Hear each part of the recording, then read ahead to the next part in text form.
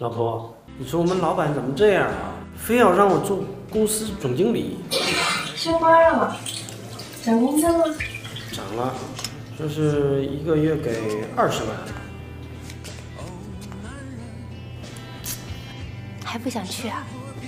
我就想做一个普普通通的小员工，他怎么就不同意呀、你是打工的，他是老板。人生无常，大肠包小肠。